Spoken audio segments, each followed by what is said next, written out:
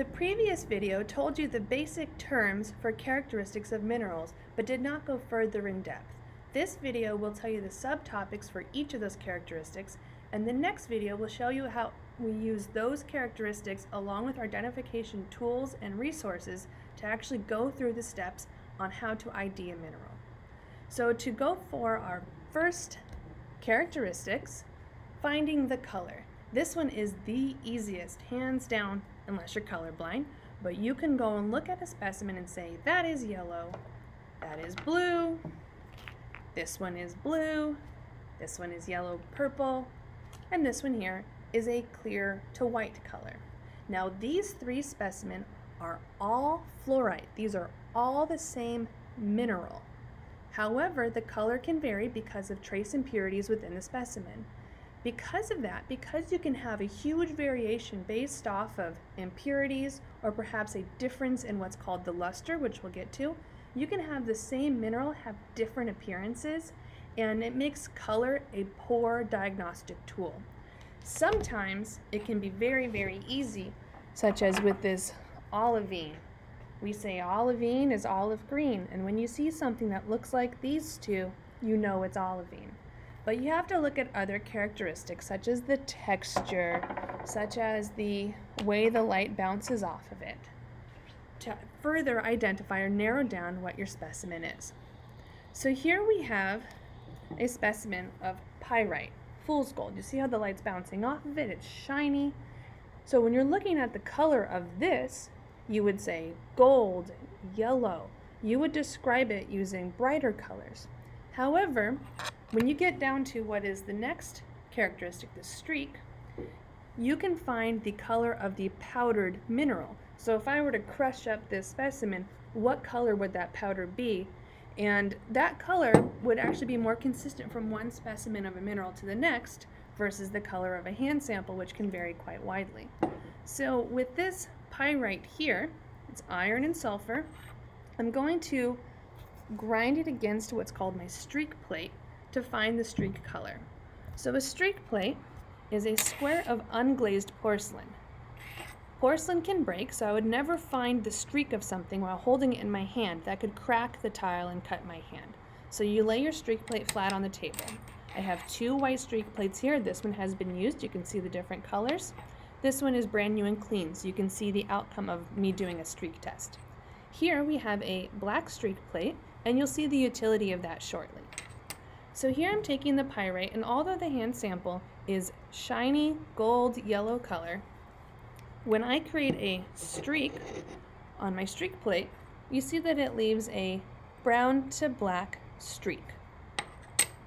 When I leave a streak with this one here, this blue specimen, you see that the blue streak left behind is a little bit lighter and matches the powdered edge where I did the streak of the specimen.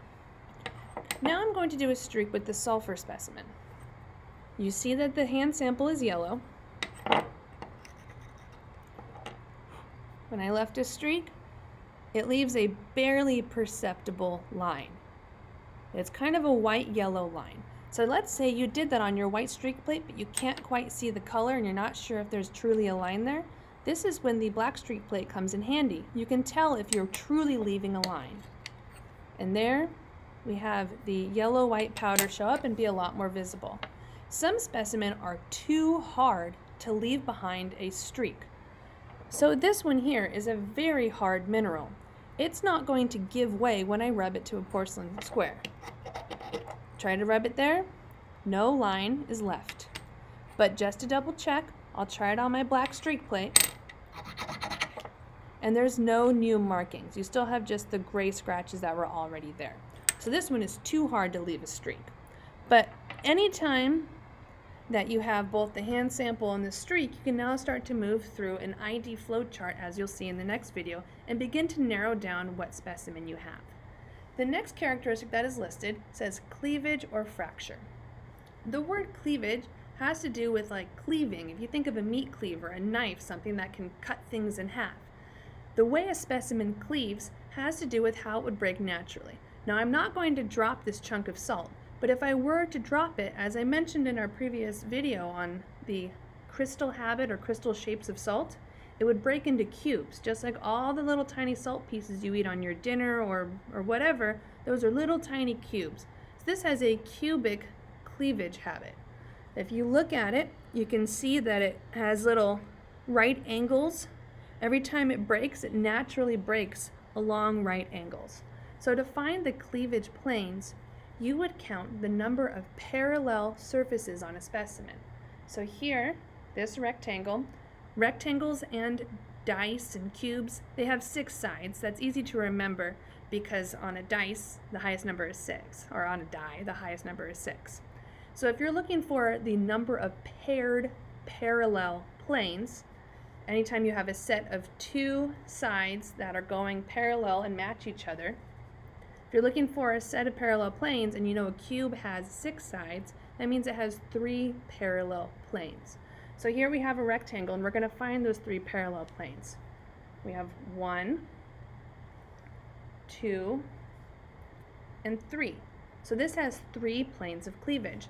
Not all minerals break regularly. This one here has broken off with right angles. A calcite also has three planes of cleavage, but it breaks off on these slanted or squished rectangular angles, but it still has three planes of cleavage. So we have one, two, and three paired parallel sides. Finding the planes of cleavage is often tricky for students who are in class. The specimen that I use to indicate how to easily find a plane of cleavage is this one here. It's called muscovite. So muscovite gets its name because it was previously found abundantly in and around Moscow. Muscovite, it comes from the word for Muscovy glass. It comes off really easily in sheets. Whoop. There's its cleavage plane. Cleaves along this plane very easily. And you can see the light passes right through it. So back before technology to create glass out of liquid silicates, and I'll get into the mineral class silicates in a future video, before the technology to create glass was created, people would use sheets of this naturally occurring mineral as glass. So muscovite is a Muscovy glass. And here it has one plane of cleavage. We have one set of parallel faces that will show where it breaks off easily. And I did, did that right in front of you. I broke it off. That's its cleavage plane. It cleaved right there. The other sides are irregular. So it has one cleavage plane and the rest is irregular. Some minerals are entirely irregular. If I were to drop this chunk here, it would break off just higgledy-piggledy. You would have no sets of parallel lines. You would have no regularity or predictability in the way it would break. That's what we call a fracture. And there are two kinds of fractures. One is when it just goes however, there's no pattern to it at all, and we call it an irregular fracture. The other kind of fracture is called conchoidal, and conchoidal fractures can be seen in specimen like obsidian. So I'm going to grab an obsidian to show you that conchoidal fracture very quickly. Here we have a specimen of obsidian, and you can see the way the light is bouncing off of it, you have those concentric rings. That is a conchoidal fracture as compared to something like a irregular fracture where you have no patterns of how it breaks. The next characteristic is luster, Luster is how the light bounces off of a specimen.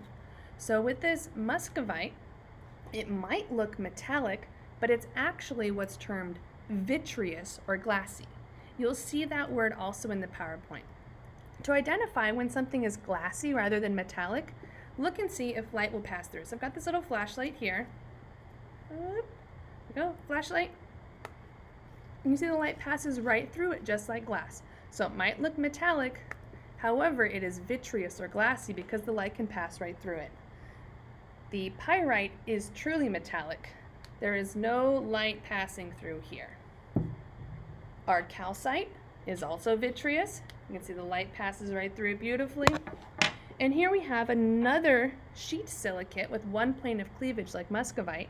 This one's called lepidolite. And the light passes through. This one is vitreous. So vitreous or glassy is one of our lusters. Another easy to identify luster is called earthy. So when something is dull or dirty looking, you don't see any of the light bouncing back into your eyes. Instead, it's scattered, creating a non-shiny appearance. You have a dull or earthy luster. We have the metallic luster, as can be seen in this lead-based mineral called galena. And it's shiny, just like you would see on, you know, a cookie sheet or a coin. It's not necessarily going to be pretty, just shiny as you would expect a metal to be. That is why it's called metallic. Another one of our lusters is fibrous. And it's weird to think of a rock being fibrous, but if you look really closely at something like this, you can see there's little lines or striations or chunks of crystals that almost looks like a close-up of silk. So this is fibrous or silky. This one's luster is also fibrous. It looks like you've got little sticks of the mineral all bundled together. Here we have one that is both fibrous and glassy. So you can see the fibers, and this is almost like fiber optics, this one, because the light passes right through it even though it appears to be fibrous. This is fibrous and glassy, so you can sometimes have two different lusters on the same single hand piece, or, as we have with hematite, two specimen having different lusters. So this specimen of hematite has a metallic, you can really see the shininess of the iron here, as it has a metallic luster, whilst this one has an earthy luster. Here we have olivine. Olivine has the little glassy chunks that if you shine a light through them, you can kind of see the light is able, there we go, the light is kind of able to pass through those crystals. So our olivine crystals are vitreous, even though when the crystals are very small, it might not look quite as pretty. But you can see if you hold the light right up next to it that the light is passing through the individual crystals. Another type of luster that we have is soapy, waxy, or resinous. So this piece here, this is talc. This is what gets crushed up and put into uh, powders, makes, makeups. So this talc here, if I were to rub it, it feels almost slippery or soapy. It has a little bit of light bouncing off of it, making it kind of shiny. So we would call this a waxy or resinous luster. Next characteristic we have is hardness. Hardness is best explained when using the tools, but it's basically whether or not a specimen can be scratched by another specimen. We can use fancy pick sets now to find hardness, but Frederick Mohs, who invented what's called the Mohs hardness scale, created a series of gradations for hardness. So he put the softest minerals with an arbitrary number of 1. So here we have talc. And something like talc, like I said, can be made into a powder. It's scratched very easily. You can just scratch it with your fingernail. And there we go. Talc is not very hard at all. But something like quartz, quartz is much harder. You can scratch a piece of glass with this one. So with hardness, it's sort of what can be scratched what's scratchier, what can get scratched. And so we'll go through the application of the tools, showing both the traditional Mohs hardness toolkit as well as our new hardness numbers pick sets. So hardness is how easily can a mineral be scratched? Can it scratch something else? Can something else be scratched by it? Lastly, we have special properties. So special properties would be how heavy a specimen is. This is lead based, so it's incredibly heavy compared to something like this. It has a high specific gravity. This one here is calcium carbonate, and it would fizzle if I were to put hydrochloric acid on it. I'll do that in our mineral ID video. But this specifically, because it is a carbonate, as we'll see in our carbonates video, it'll react with acid. However, this one, although it looks really similar, will not because this one is sodium chloride. So if you got down to the very end and you can't quite tell because they have similar luster, similar color, similar cleavage, and similar hardness, you can't tell which one is which, that's when you start looking into special properties such as effervescence with acid or magnetism. So when you get down to the special properties, that's when you can really weed out exactly what your mineral is.